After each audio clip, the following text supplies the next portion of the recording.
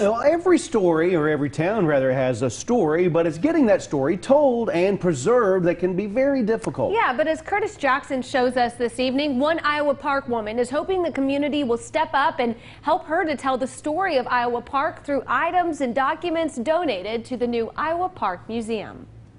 If it's something important to them, it's important to me. Vicki Mitchell has a passion, and that passion is sharing the rich history of Iowa Park to residents who visit the newly opened museum right in the middle of the small town. A small town that she says has big history. This town has bukus of history, and a lot of kids, not of the new people, do not know all of it. Like uh, half of them don't even know we used to have a Miss Iowa Park contest. And as the acquisitioner of the museum, Mitchell has been hard at work collecting pieces of history throughout the town, from old typewriters to school memorabilia to even pictures that are nearly a century old and so much more. This is from begging, pleading, asking, going to people saying, Would you please donate? And they keep saying, You want money? I said, I want that Letterman's jacket.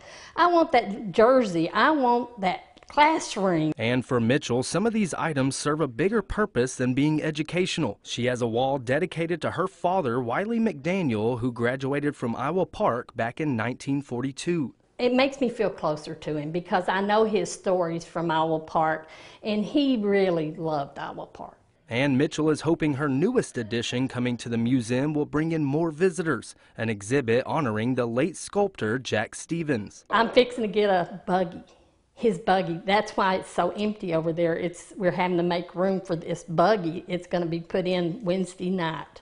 I am so excited about that. And she says when it comes to folks donating or loaning out items, she wants it all. I want everything. I want, don't care how big, how small.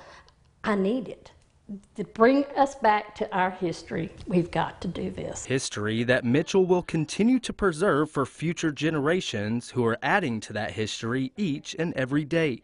Curtis Jackson, KFDX 3 News.